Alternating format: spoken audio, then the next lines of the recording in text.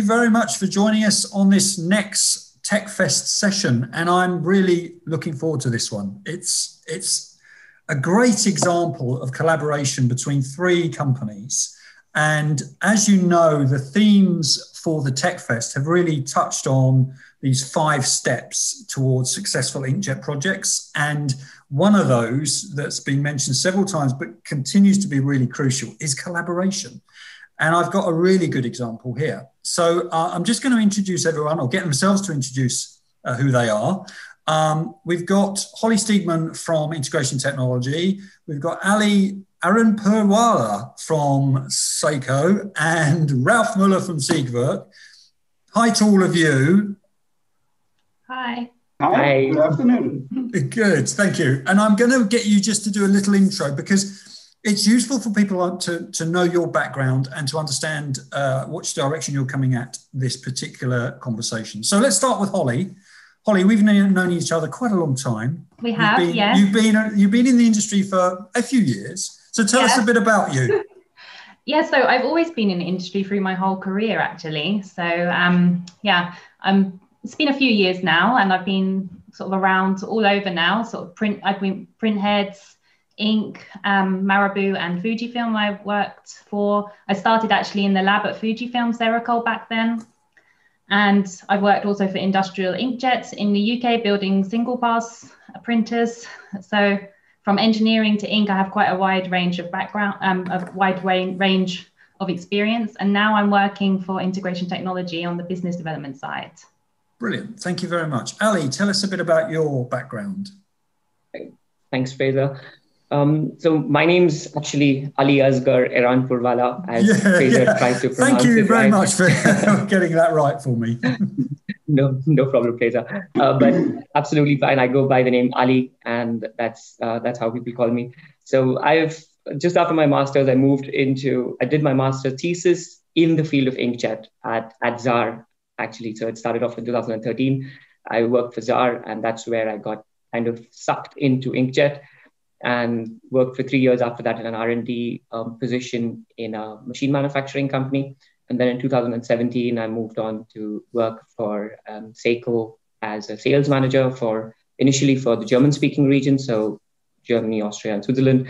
And last year, I got a promotion and then I took over as the head of sales for the region of EMEA. So currently, I'm the head of sales for the Europe, Middle East, Africa, and also India. Thank you very much. Thank you. Thank you. And then Ralph. Yes, sure. Thanks, Fraser. And so, so basically, I joined the industry six years ago when I joined Siegwerk in 2015. So, from my background, I'm a chemist, um, but I started in a strategic position um, in Siegwerk and uh, basically did strategic market assessments and technology assessments um, for a couple of years. And then in 2018, moved into an operational uh, position, then basically jumping into the digital market, um, into our uh, newly found uh, business unit Inkjet, uh, where today basically I'm, um, as Ali, uh, in the role basically of being head of sales uh, EMEA for our UV inkjet ink solutions. Brilliant, brilliant. Thank you, guys. And that just sort of sums up the, the, the different areas that we're, we're, we're kind of picking up on today, which is this collaboration between three organizations covering curing inks and heads technology and, and, that, and, and the way in which you can help OEMs and projects to, to, to move forward quickly in, in, in terms of inkjet and development. Now, Ali, you're going to give us a few slides just to give us a little bit of a flavor of what um, the three companies represent in terms of the technologies. So over mm-hmm. to you. Perfect. I'm just going to share my screen. Um, it's going to be a presentation from all three of us. So sure. basically, um, the first slides of the printhead that we as Seiko are bringing into this collaboration. So this is the RC1536 printhead that um, was launched quite a, uh, quite a while back in 2014, but um, we are kind of bringing this present, bringing this printhead into other markets now. So this it has a drop size from all the way from 12 picoliters going up to 225 picoliters, so very wide drop size range. Then the print frequency is about 37 kilohertz for the single drop. Then um, you know it's quite fast. You know, can go up to 150 meters per minute if you're just printing with a single drop. And a print width of 108.3 millimeters. So it's the basic specs of a, of a, of a printhead for single pass. But we're also pushing it in, in other markets like ceramics, cardboards, coatings, um, textile, and many different um, applications which are more or less, let's say, industrial. So that's that's the idea of, of bringing this printhead into the market. I'm gonna let Ralph now just explain his part in this collaboration. Yes, sure, thanks. So just basically a quick snapshot of um, Siegwerk. So, so basically Siegwerk is one of the global leading manufacturers of inks and coating coating specialized for the packaging and label markets. So basically, we have a global ink and varnish output of more than 250,000 tons um, of ink each year, which we basically achieve with more than 5,000 um, Siegwerkers in, in 35 countries. Um, and all of this then combined results in, net sales of, of more than 1 billion euro per year. The, the big importance for Siegwerk is that we focus on ink solutions rather than ink products. So we are not just selling cyan, magenta, yellow, and black ink, but we are specifically developing solutions for each of our customers because the packaging market and also the label market is a very demanding and application driven uh, market. So just standard products just doesn't don't deliver basically the, the ideal solutions. So basically, we started to uh, look into the inkjet technology already in 2012, but then finally entered the inkjet ink market in 2018 by acquiring the, the inkjet ink business specifically for single pass label and packaging printing um, from Agfa. Um, then basically created um, our Center of Excellence for inkjet technology in France, where today we basically produce um, and develop all of our um, inkjet inks, which are basically today a unique mix of UV curable inkjet inks as well as water-based. inkjet So that's basically the two technology, technologies which we see needed for basically tackling the whole complexity of the packaging and label market.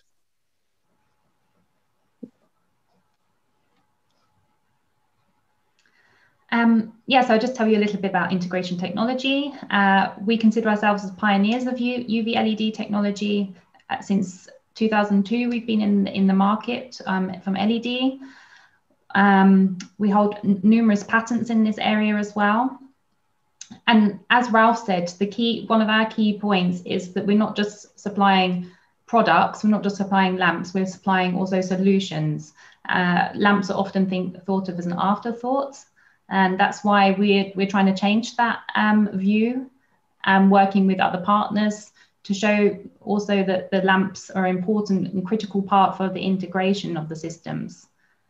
We're part of the IST METZ group, so with IST Metz, we have the largest, world's largest portfolio of UV lamps and UV LED lamps. Um, and we also have the sales and service network behind us as well from this point of view. But the key point here is we're providing not just standard, also then tailored solutions um, that meet these complex industrial applications. Brilliant. Thank you very much, Holly. Thanks, Ali, for giving us a little insight there. Um, now, I know that you, in particular, have been working on a, a specific project, haven't you, uh, that is involving in the packaging market and, in particular, focused on UV inkjet matte varnish. So, tell us a bit more about that. Mm-hmm. So, it, it all started off um, actually with the first call between um, um, Siegwerk, um, so Ralph and myself.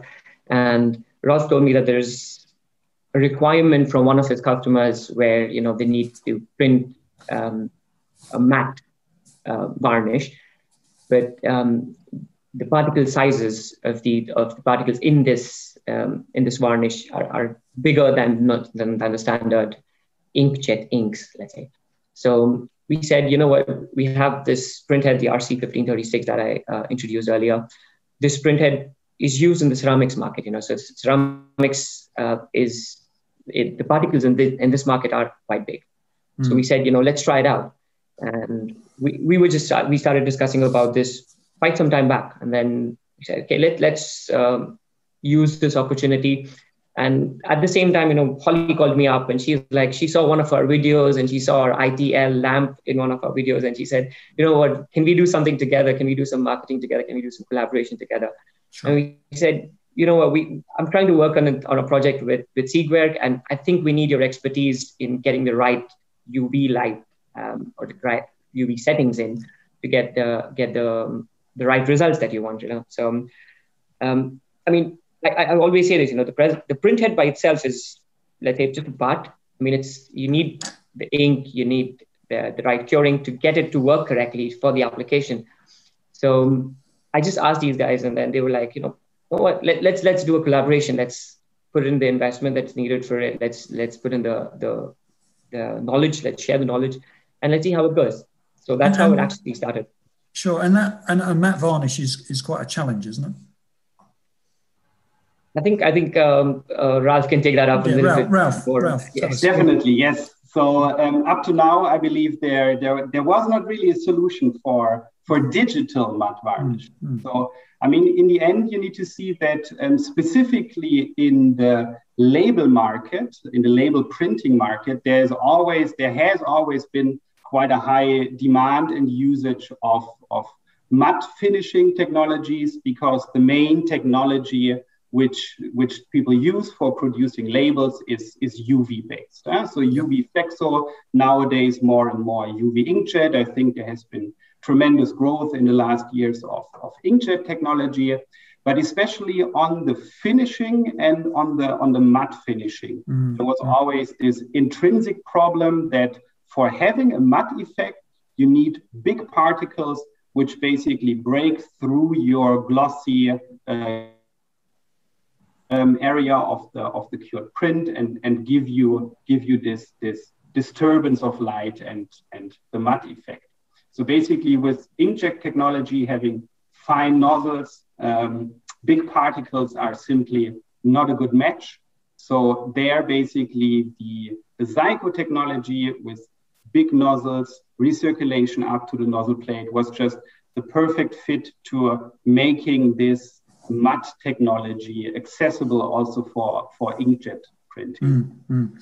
And I know that, um, I know from integration technologies point of view that one of the things that you talk a lot about is that ability to to adapt your technology to the requirement of the project, for example. Exactly. Yeah. Uh, yeah. Does does this particular instance mean that you you're taking something off the shelf or you're adapting it? How how you how's it working, Holly? So with this this is the perf- a perfect example of how it's really important to be in touch with all the partners from the beginning of a project. Because by doing that we were able then to discuss together and we discussed okay so what actually would be the best wavelength for example? Mm. um, you know could a combination of wavelengths be interesting for this? Um, you know in, in normal in normal print digital wide format applications different wave mixed waveforms not necessarily gives you some benefits but when you're developing something and it's and you know from the beginning, okay, if I use if I if I have the ability to use a mixed wavelength, I can really adapt my formulation to include different photo initiators and give a real advantage. Um, so that's where kind of industrial projects and industrial applications kind of differ from sort of traditional or in digital di- traditional wide format applications. Sure. You know, it's this tailoring.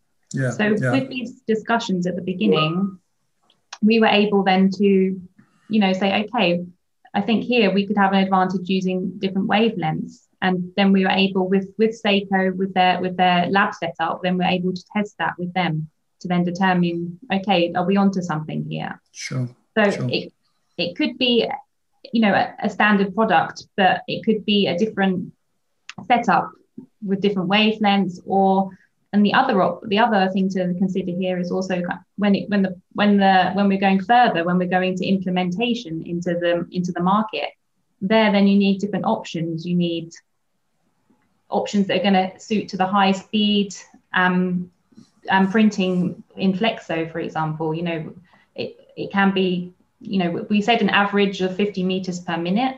So, but there could be other customers that maybe want to implement this at a higher speed. And then sure. you need to have a wide range of curing options to, to then also be able to cure at higher speeds. Yeah, yeah. Um, Ali, so does this, what Holly was mentioning there was the waveform. Um, does, does this mean that you need special settings for jetting this fluid in the heads? Um, I mean, so um, every fluid by itself um, has a specific waveform for it. This is mm-hmm. because, uh, I mean, waveforms work on the propagation of sound in the in the fluid itself, so the acoustic period of the fluids. Um, so based on the composition of the fluid, there is a different acoustic period for it. Mm-hmm. And based on this acoustic period, there is a waveform that's created uh, for that particular fluid. So um, when the particle size increases in these fluids, yep. the, the the period changes, the acoustic period changes, and then there's a, there is this waveform that was created for it. So this is like a standard procedure for us. I mean, it's mm-hmm. not something going out of the box, creating something new. It is a, it is a standard procedure for us, but the fluid was new. I mean, we have never yeah. printed something like this yeah. Uh, before, and um, uh, we didn't have so much experience. I mean, even today, I mean, I wouldn't say we have so much experience in the UV segment. So, sure. you know, we are we have been working with oil inks, we've been working with solvent inks. That's that's you know that's like uh, ask us anything about it and we know what to do. And yeah. the UV was something we need that input from from others, from ink manufacturers, from from um, UV lamp manufacturers, and that's what we did. You know, in this case, we created the the waveform for for this, and then we did some testing. So sure. as Ali was mentioning earlier, you know, we we have a small setup in our lab, just one simple print head. Where, where is the lab? Uh, we have the lab in uh, in Frankfurt, not exactly Frankfurt, it's a little bit south of Frankfurt, um, but we, we moved very recently here. So uh, we had the lab for three years in Paris, and the space there was you know getting constrained, and we didn't have enough uh, resources there. And we have the headquarters for uh, for the Seiko op- operations in, in Europe. We have the headquarters in, in Frankfurt, uh, sure. in, in Neu-Isenburg. So we said, you know what, let's uh, make this place even bigger. And we rented out an entire floor in our building. Sure. We just got the entire lab moved sure. in here. And yeah, we just we just put this ink in. We put the, we got the new uh, settings for the lamp. We got the new lamp, the new LEDs. I think Holly can explain that uh, in more detail. And uh, we just we just tried out. You know, I mean, if, if it's going to work, if it's not going to work. I mean, there are iterations that need to be done. So mm. we did the first iteration without the right settings. So mm. you know, uh, to just know where we stand. Mm. And now we are um, we, we we worked on a second uh, iteration, which looks much better. Oh, good, good. So kind of so just just to pick up on that, so uh, you've got the three three of you in effect are bringing your your wisdom to the table, aren't you? It's like the other option for a for a for a company looking at technology like Inkjet is to go to someone who says they can deliver all everything. But what you've got with this particular collaboration is, in, in effect, masters of, of each segment. You know, head manufacturing, ink technology, curing systems. Is that is that what you get when you work with a, a collaboration like yourselves? Do you think that's what someone listening now is thinking, well, you know, I've got two options. I can go down the route of a one stop shop, or I can go somewhere where the project is pulled together by three different organizations with three different sets of knowledge, pulling them together. What, do you think? Holly? Um, so, this has been something that I've always always discussed for a long time, especially when I moved into the industrial um, side. I, I w- I've never been a believer that there's a one-stop shop. Um, okay. For industrial applications, it's just not possible. Mm. You know, there's people that do it, do things, certain things well, and that you know, for example, the company I worked at in England, Industrial Inkjet, they build um, single pass print engines. They do that very well. They don't try and build their own lamps. Inks, they don't try and build their make their own inks, and yeah, they stick yeah. to what they do. So you, you need different partners, and that's something I discussed for a long time. Is how we need to be more open to each other. You know, the, the different companies and even different, you know, ink companies, for example, they need to also yeah, work sure. together. Um, we need to be more fluid in that way because now we're at the point where we've convinced ourselves in the industry about inkjet. Sure. We've because there was uncertainty at the beginning, and now we have to convince the people outside, which I think needs more of a united front. Yeah, I was sorry. What I was going to say, and I think it, it just backs up what you're you've been alluding to. There is, with most industrial inkjet projects, this there's a very specific need, an application, an approach, and it's quite difficult to find one-stop shops that can do the whole thing in you know in, in, in a perfect way as you said earlier, Holly, you mentioned wide format. Wide format, so you know, it's just so different, isn't it? They, we know what we want to do. You want to print on a material. You want it to work like this. Industrial inkjet is so different, isn't it? It's just, it just, it, it's just so much more complex. And actually, what's great about the industry is that they are, you are working together. Here's a fantastic example. Ralph, would you agree with that?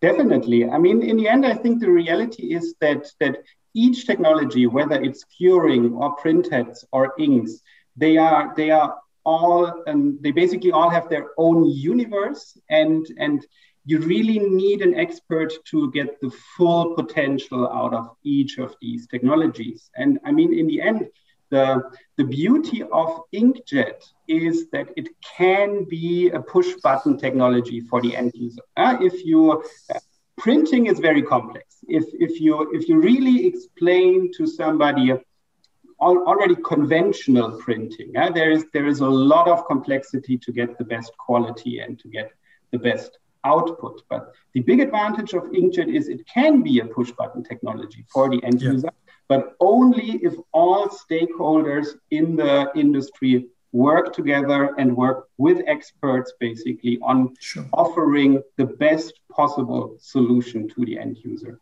Can I just ask, do you think uh, there are demonstrable cost savings from doing it this way? You mean in, in the collaboration? In the collaboration, yeah. Is oh yes, know, definitely, yeah. definitely. Okay. I mean, I mean, in the end, it's. I think it's definitely there. There are cost savings in um, in the collaboration, of course, because I mean, you you share everything. You share the development. You share the application um, technology. But I think if you don't collaborate some solutions are not even accessible uh, because you are simply missing the expert know-how yeah. in the niches basically where you don't really as an individual or as a as a one-stop shop cannot look into. Yeah i think you, your point there is exactly right. It's that sort of expertise that you have isn't it? Each of you have expertise very specifically in that segment. So it makes it makes complete sense. So if someone's listening and they're thinking about a project or they've identified a project or they're working with, they should come to you. But they, they would be thinking, I want my project managed. How, how is it going to be managed if I've got three or four different parties in there? How do you kind of pull this all together? Is there a project manager? Is there someone that kind of is the person that kind of holds it all together? Um, Ali? So um, I mean, normally that's that's the the work of an OEM. You know, the OEM is yeah, normally sure. the who is who is actually speaking to everyone yeah. individually. So the and integrator, the integrator, or the in, developer, integrator, exactly. Yeah, sure, sure, sure. The developer. Uh, but the conversation of, in most of the cases, in most of the projects, is okay. Um, I have some, I have some issue now. Okay, I'll speak to Seiko. Seiko will yeah. reply back. Yeah. And then I'll speak to Siegwerk. Siegwerk will reply back to me. Yeah. And then I'll speak to integration technology, and they'll reply back to me. Sure. And then you know it's it's just bouncing of emails. You know, not not finding the right solution. So, so that's what I'm kind of saying. How to avoid yeah. that bit? Yeah, how to avoid the benefits we can see, the the pitfalls potentially having lots of. So that's what I was thinking in terms of having someone kind of coordinating. How in your particular collaboration here, how have you worked it so that there is kind of one place they come to, or is it a case of when we're talking heads, it's Ali, or when we're talking inks, it's Ralph, or when we're talking curing, it's, Holly. How does it work between the three of you, the three parties?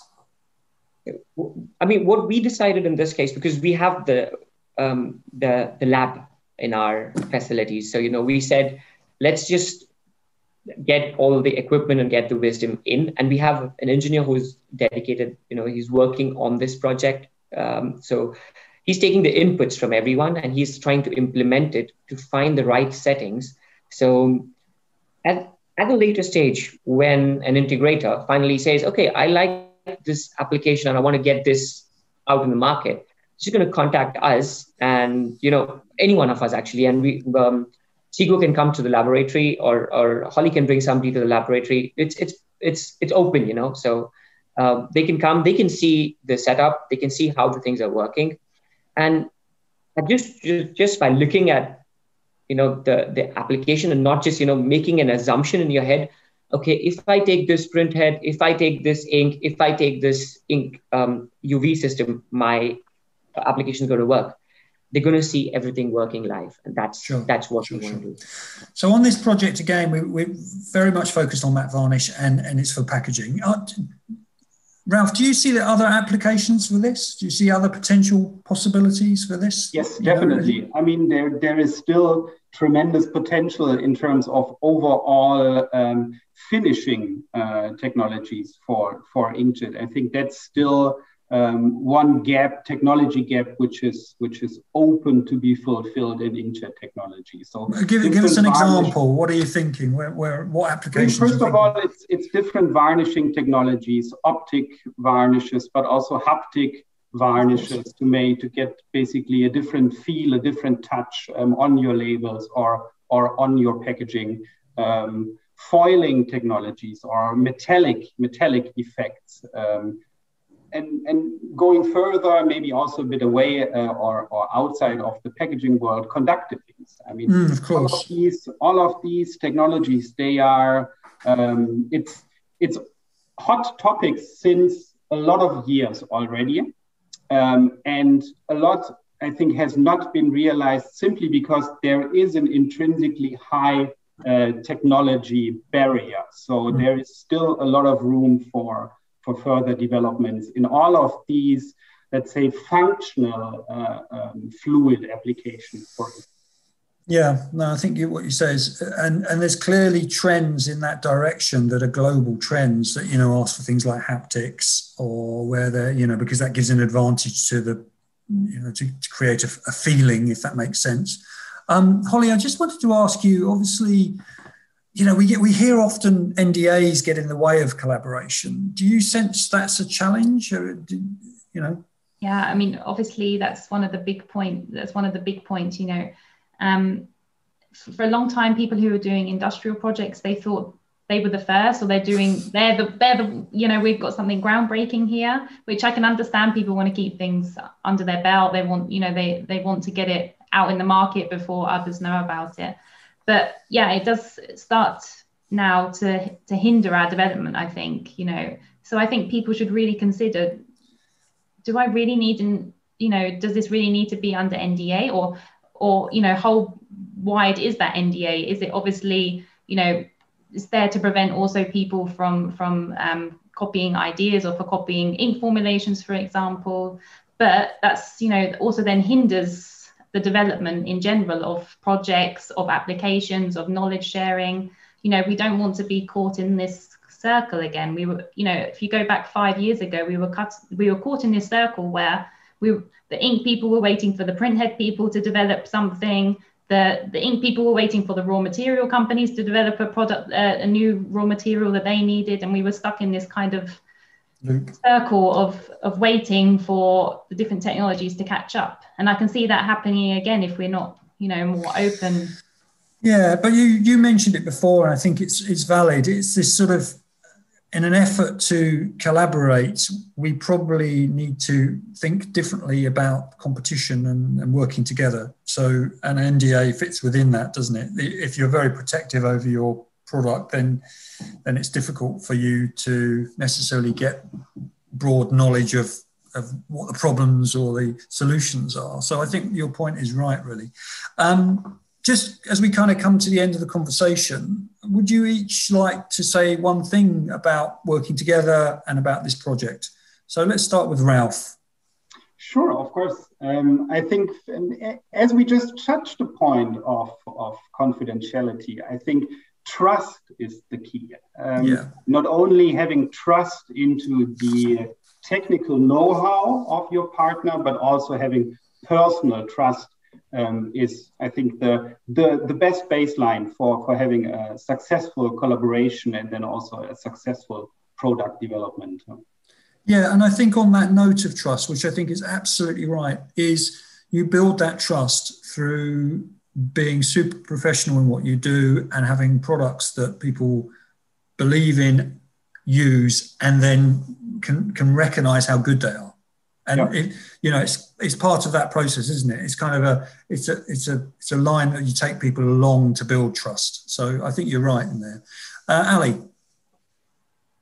Um, yes, I mean one thing I would like to add on to to what we were discussing right now is you know um,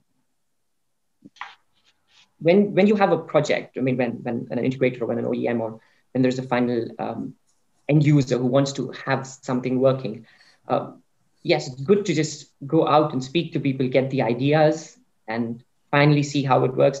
But uh, one thing is is inkjet is still new, and we we we people who have worked in inkjet for some time, we all have got a uh, little bit of experience under our belt. So if you open up to us, we can, you know, give out our experience and our, our knowledge out to you. And this is what we want to do. I mean, this is what we are even doing in this kind of a tech fest and in an event like this. This is, we want to just bring out that knowledge that we have um, created in the last uh, few years by experimenting, by working on different projects, by developing our own products. So um, be open about what you want to do. And we will try to, I mean, NDAs are there to keep you know things that are need to be secret, keep keep them secret. So we will honor the NDAs wherever it's needed, but where it's not needed, these things are just becoming red tape, and it's not yeah. helping us to go forward in the industry. So that's something I would like to say. Yeah, um, I think you're right, and that that wisdom as well that you have is is worth people recognizing that you know you are the specialists in that segment, in, in you know your stuff, and it's always worth talking to someone who knows. So yeah, I, I agree with you. I agree with you. Uh, Holly, did you, sorry, Ali, did you want to just add one final thing? Yeah, I, I just wanted to just add another line. I mean, uh, this kind of uh, the collaboration. I mean, we're, we're going to show this off in the in the laboratory in two weeks' time from now. So on the from the 19th of uh, July to the 23rd of July, we're going to have like an open week in Seiko. Excellent. So if, if you want to come and have a look at what we have achieved, uh, you know, with this collaboration, do come by and uh, have a look at that. Excellent. So just tell me that again. It's 19th to the 22nd, did you say? Third. 23rd, 23rd. of July. Right. So it's, it's one week. It's the it's called the Open Week, Seiko Open Week. It's from the 19th to 23rd. Um, and it's just, I mean, we're just going to uh, show different kinds of collaborations that we have done in, in the market. Um, and one of the uh, prime events or the prime things that we're going to show is the matte varnish yeah, with the collaboration that we have here.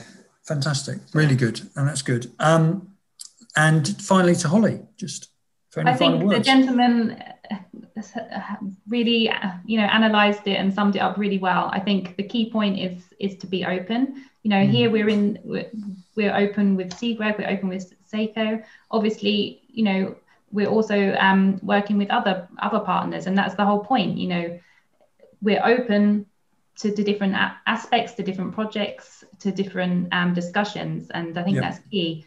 And I would say to say also to people who are considering inkjet, you know, if you if you know it's the right application for you, because you know you have to know it's the right thing, mm. then you need to find the right partners. You know, so find number one, consider it is actually what you need to be doing. You're not just getting on the bandwagon or thinking, oh, that sounds cool and also then yeah find the right people the, the right people to be talking to is is really important. No i and, think that's a, yeah. sorry. I was going to say that's a really good way of summing it up really holly. Yeah and you know don't be scared. We're all very friendly here. The inkjet world yeah no i think i think everything you said there really sums it up. I i, I kind of think of find your a team the, the a team the team that you really want to work with and and then you know work with them work with them. As, as, as, Holly said, and I think you know it's, it's, something you talk a lot about integration technology. You know, yes, you have a piece of technology. Yes, you have a bit of knowledge, but you know you can also tweak that to fit the exact requirements of the project. And I'm, I'm sure that the same with Siegwerk and the same with Seiko. You know, you have expertise, you have a product, you're also able to tweak that product to fit the specific project that you've got. So um, I think it's always worth knowing, isn't it? Thank you very much, everyone. That's really, really interesting session. And um, will, the, will, will Ralph and Holly be at the the Seiko Open Day? Are you going to be or the Open Week? Yes, with the not the full time. But you're going to be there on one of the days. So so you will be. So if anyone's interested in attending the Seiko uh, Open House Week and to see the three of you perhaps together in real life, in real which life. would be great in real life then uh, get, in co- get in contact with Ali and Ali will set that meeting up. There you go, Ali. Thank you very much. Too. Pardon? With real Sorry. printing too. Sorry. Yeah. Yes, real printing. Exactly that. Real printing. Thank you very much, guys. It's been super, and uh, really, you know, hopefully we'll catch up again and find how this project has evolved because that's what's interesting about this. You know, it's an evolving project. Uh, maybe we'll catch up again in the autumn. Thank you to all of you, Ali, Ralph, Bye. And of course Holly. Thank you. Thank you very much. You take care.